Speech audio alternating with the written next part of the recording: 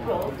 Uh, I'm now a teacher at the Vegetarian Society of Cookery School where I train uh, chefs uh, and uh, let's say foodies. Uh, also author of uh, a cookbook, Vegan Desserts Better Than uh, a Fruit uh, Salad. My aim is to convince people uh, vegan desserts are easy to make and look fantastic. So you have a place of honor for the uh, English dessert, a modern twist, No, also a continental dessert, a theme dessert, Easter, uh, Christmas, um, and most importantly, you have uh, a basics uh, section uh, talking and explaining about uh, cookies, uh, sponges, You'll say the rest um, later. pastries, uh, you know, which is uh, unfortunately quite often uh, neglected in uh, vegan literature.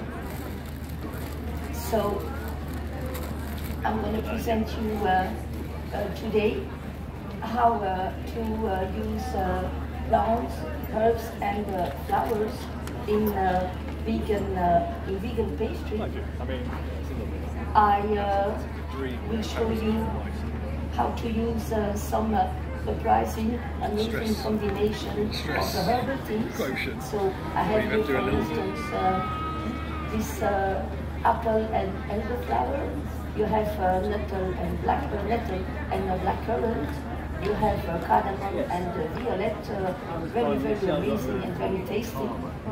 Secondly, uh, I would like to uh, talk about the flowers that we use, let's say, in a surprising way as well. For instance, this poppy, we all know about uh, poppy seed, but we maybe don't know about uh, poppy flower. This is a syrup made from the poppy flower. It is absolutely delicious and a wonderful uh, fragrance. I'm very sorry we were not allowed for sanitary reasons to um, um, present some um, uh, samples, but trust me, it's really, really, really uh, delicious. uh, finally, I would like to talk uh, about some uh, forgotten plants in pastry. For instance, angelique. Angelique was very popular and used uh, uh, during the Victorian uh, period. Uh, then uh, it disappeared. Why? I think one of the reasons may be the, the workforce. We don't really have time now to um, spend a whole day to decorate a cake. Angelique was mostly used for decoration. Uh, I'll show you.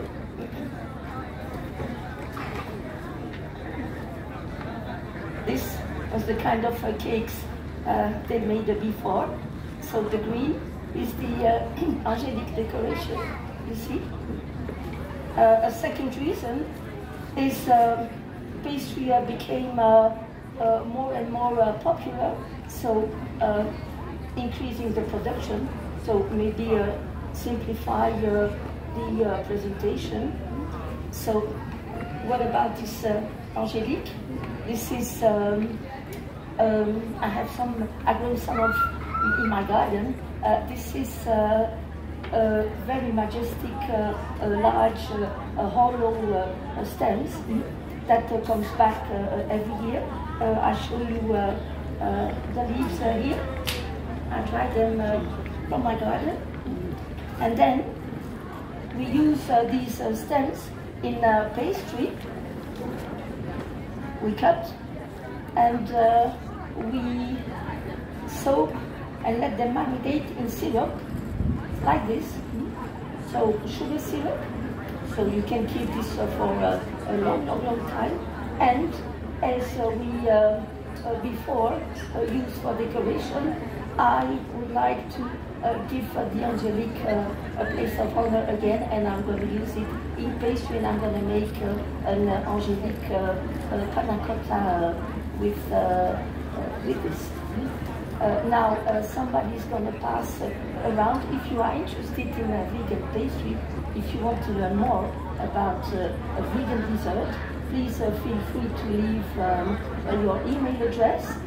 And uh, also, if you are interested, uh, you are very welcome to join my uh, course in this lab about uh, vegan Christmas desserts. This will happen in, uh, in December.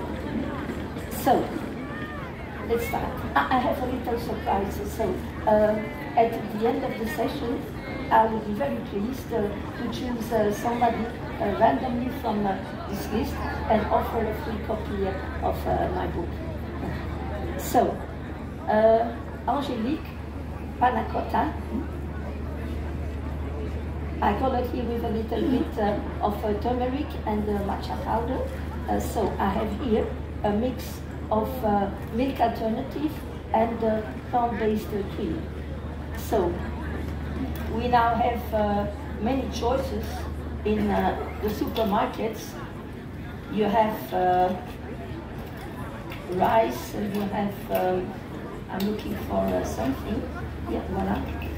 You have rice, milk, you have almond milk, oat milk, but oat milk is not gluten-free.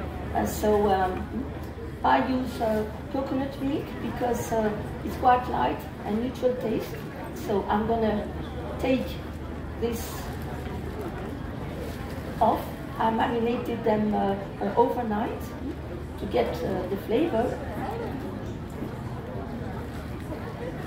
The basics for all these recipes is always to marinate the teas, the flowers, the herbs, the plants overnight, and then you have the eventually you reduce if you want a stronger flavor.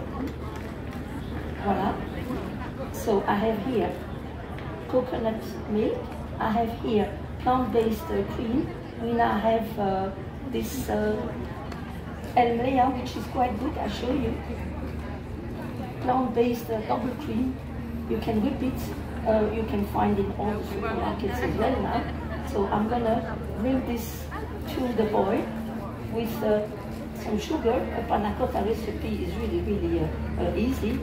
Uh, I'm to ask my dear Faye to start this machine. voila. So I have here, I'm going to make a small quantity, right?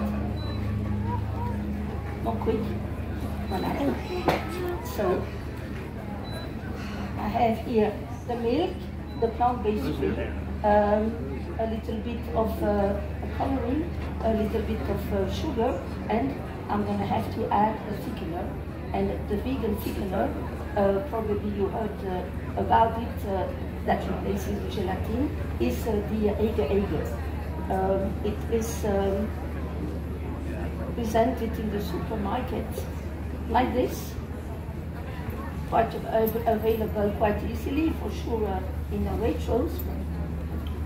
I took a little bigger quantity if you don't mind.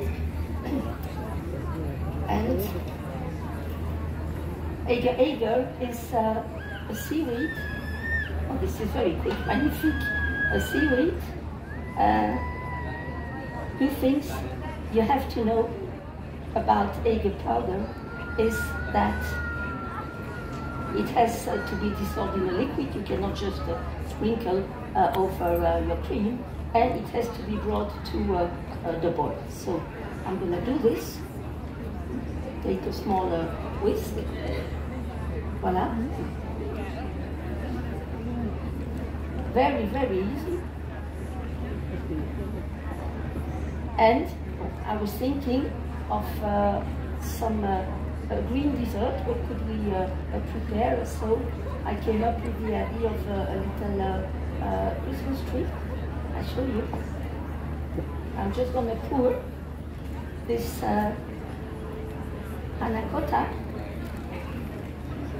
in my uh, mold. Voila, it's boiling, I hope you see.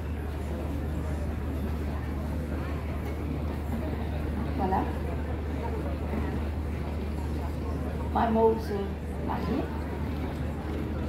You can find these molds uh, easily and very cheap uh, uh, online or in shops like Lakeland or uh-huh. just gonna pour. I hope you see. And I'm just gonna let it set. So you can keep this in the freezer, in the freezer, meaning that this is a dessert you can make in advance because you can keep um, your um,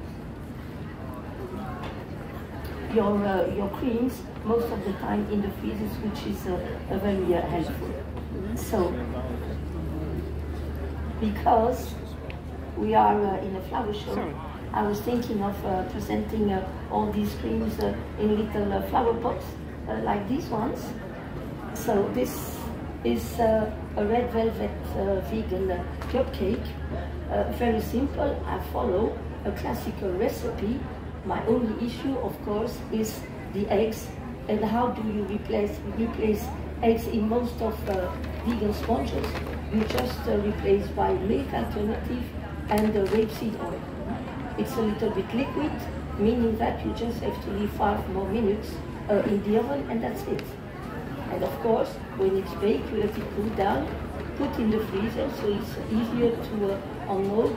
And this is your vegan uh, uh, red velvet uh, cupcake. Easy. So, let's pretend uh, we are uh, a couple of hours uh, later. This has set. Abracadabra. and, uh, oh, sorry. I have here my uh, little uh, angelique panna cotta tree. I put some uh, marzipan decoration, and marzipan is really, really our best uh, uh, vegan friend for decoration. It's just uh, almond uh, sugar, a little bit of lemon juice, and and that, that's it. So this is my first my first cake. The second one is uh, the poppy seed. Uh, the poppy, pardon, I'm used to the poppy seed, you see. It's uh, the poppy uh, syrup. So I'm gonna make uh, a creme uh, mousseline. And uh, what is a mousseline? It's just uh, a custard, vegan custard, of course, that we're gonna lighten and give a kind of a velvety uh, and uh, smooth uh, consistency by uh, adding uh, some uh, vegan butter alternative, let's say, what we call a vegan uh, vegan brick. Uh, this you can find also uh, in all supermarkets. Vegan block, you have Naturli', you have uh, Violife. I always recommend the hard uh, bricks because uh, it gives a firmer consistency to your uh, pastries, creams, and so on. So I'm gonna make my poppy cream. So I have here 30, I have 30 milliliters of uh, my uh, poppy uh, syrup. So this one. I have uh, 100 milliliters of uh, milk alternative, and uh, I'm gonna bring this. Uh, maybe if you can give us a hand with this. Always wonderful to have a nice assistance. Uh, so we have here the milk and uh, the poppy syrup. Ah, quick. And then I'm just gonna keep a little bit to mix with my dry ingredients, which are here.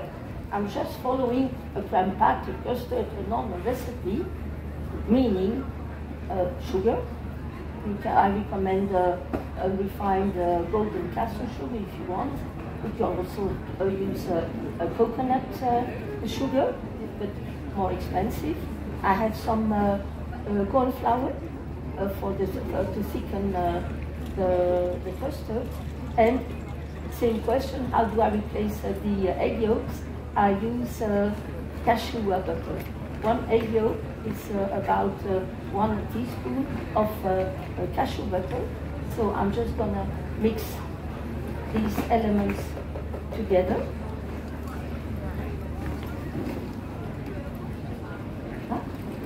Like so.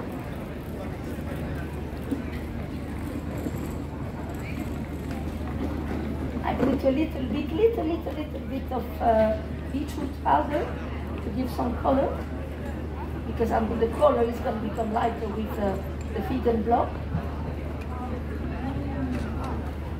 Voila. It's boiling, so what do I do now? I bring my liquid boiling into my bowl,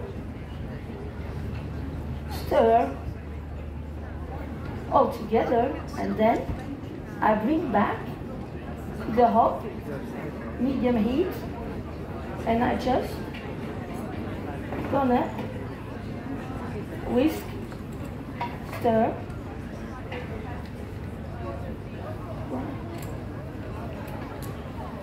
until it thickens and uh, bubbles.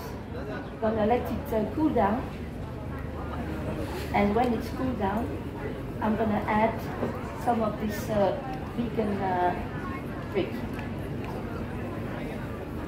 If you have any questions, please uh, uh, feel free to interrupt me. So, see, it's getting uh, thick very quickly. If you still have uh, a little bit of this cashew butter remaining, you can also give uh, a quick stir of um, a blender, but I think I'm fine. So you see, it's getting thick. It bubbles. Color became very light. Voilà.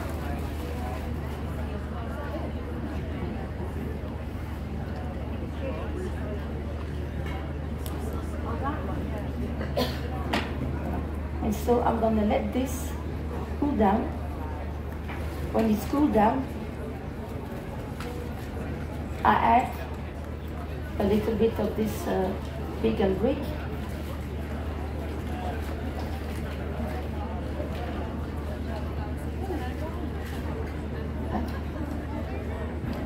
Just to show you, because I prepared some uh, ready in advance for you. So when it's cooled down, you just mix the vegan brick with uh, the cream, and this is what we call uh, a mousseline. Very easy. You can keep in your freezer as well. Voila, and I prepared some cream already set. See, it's quite a rich consistency, shiny. This is because of uh, the vegan brick. Voilà. I'm going to leave this on the side and I'm going to concentrate uh, on my cream, which is ready here, and I'm going to decorate. I'm going to try. I'm going to put this uh, away.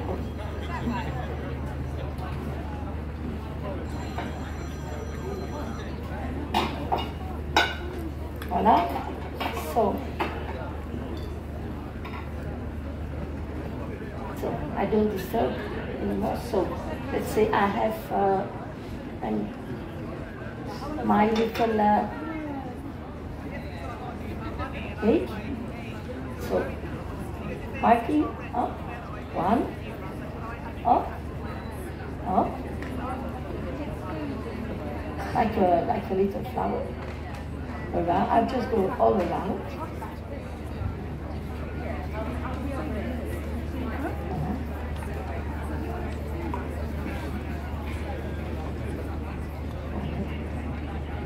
Because pastry is all about uh, decoration, um, I prepared here uh, some uh, uh, sugar, poppy flour. I did my best. Okay. Voila, one. So, again, inspired by the classical uh, pastry, uh, this is just a mix of icing sugar and uh, vegan egg white substitute, what we call uh, uh, aquafaba. But it's exactly the same way as the, the traditional uh, pastry. Uh, and uh, we can also add some little beads.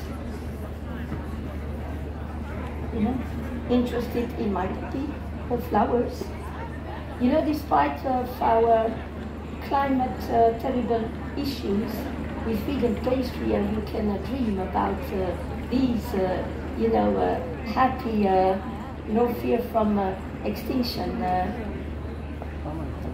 And on the top, why not, a little butterfly. This one.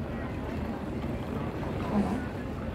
So this is uh, my uh, poppy uh, cupcake. Voilà.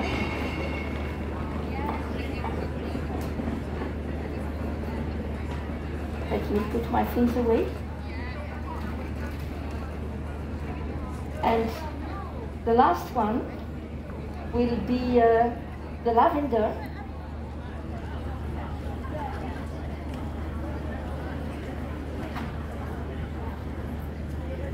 So, for the lavender here, what I'm gonna do, same story, I have it here.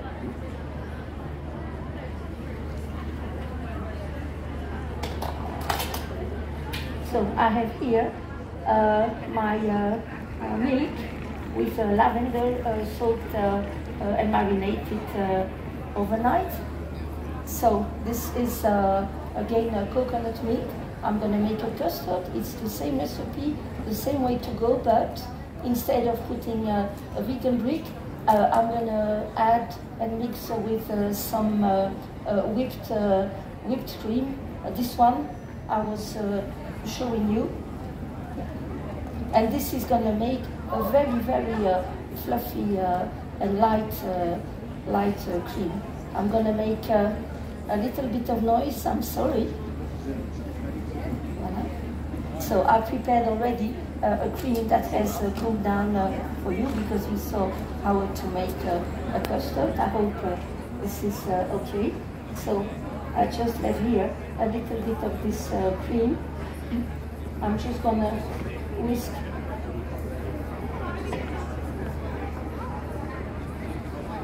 a little bit of this cream. I have here my electric hammer. Sorry.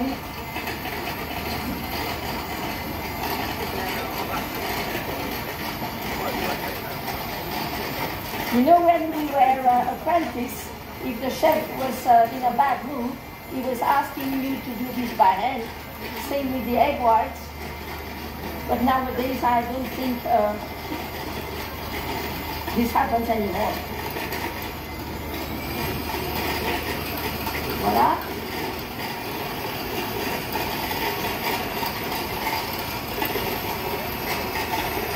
Hope you see.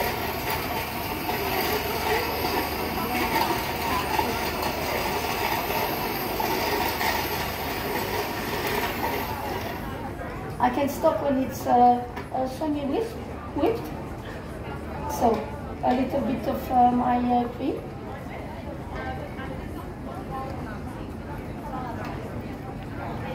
So this is my lavender. I don't have much color because uh, the lavender when it infuses uh, doesn't really give uh, a stronger color.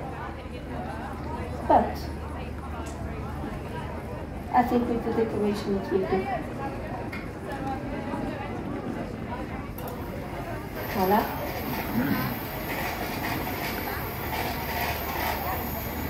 Voila.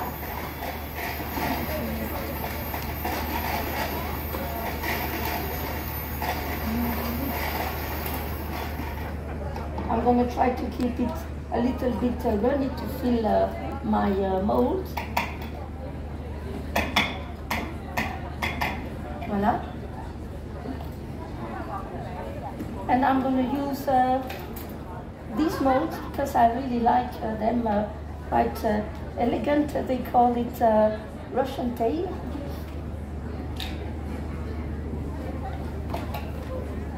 Voilà.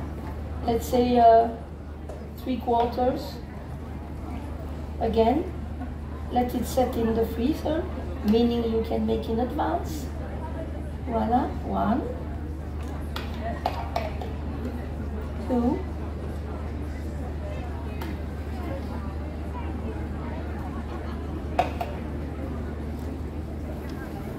I'm going to tap them to make sure that I don't have any air bubbles. Voila. And let it sit. So, abracadabra.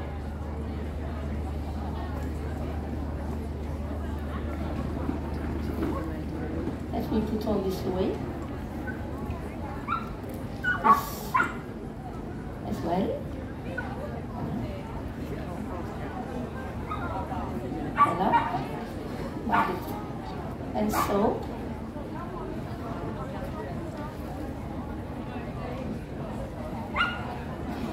yeah, this is uh, my uh, lavender diplomat. So custard with uh, a whipped cream uh, is called uh, diplomat, infused by a classical uh, pastry as well. So I decorate it with uh, some uh, pieces of fresh lavender. So I also prepared some cakes for you because I wanted to show you that vegan desserts can definitely have a, fine dining touch.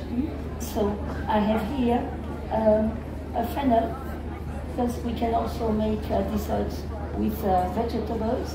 This is a fennel cream, uh, orange mousseline, you know now, hazelnut sponge. These are little orange uh, caviar pearls, very easy to make. Oh, my little butterfly, a little bit of meringue. Uh, uh, this one is my poppy macaroon. So this is the cream I prepared in front of you. This one is my revisited uh, tart. So this is a sablé uh, pastry, uh, vegan of course.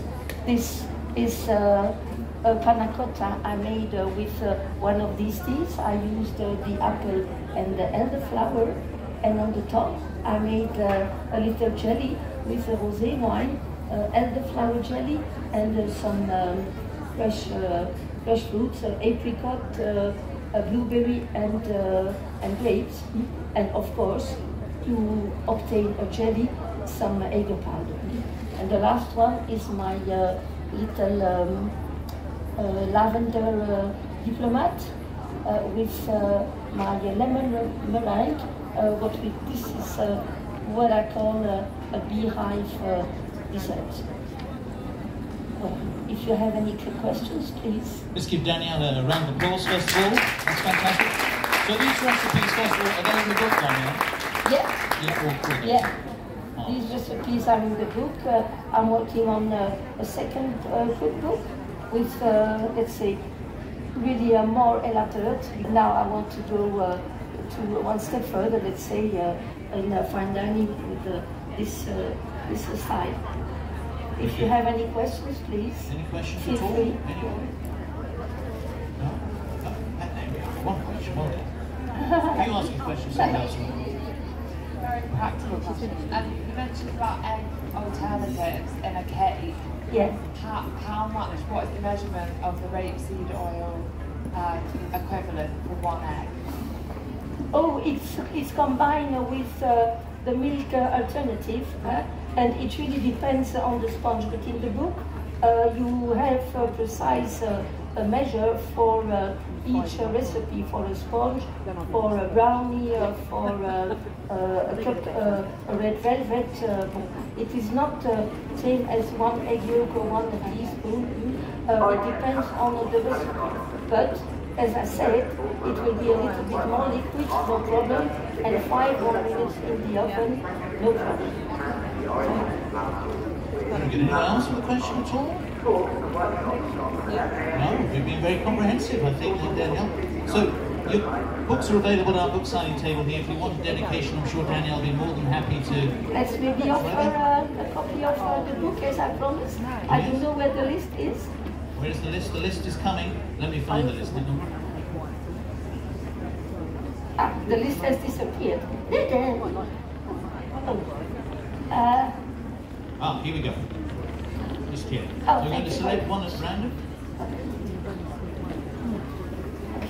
so I have this. Bon, uh,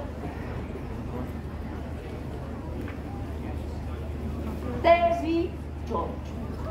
Terry George. Congratulations, Terry. Well done. Ta-da! There we go. So And you voilà. get a signed copy as well. My pleasure. Well So if you want to have a look at the book, uh, please uh, feel free. Well, while Terry gets his uh, his free copy, as I say, Dan is going to be at the table here. If you'd like a copy, or like to have a look at it, or ask a question away from the mic, then come Uh, on so over. this is very good. And let's give her a round of applause one more time.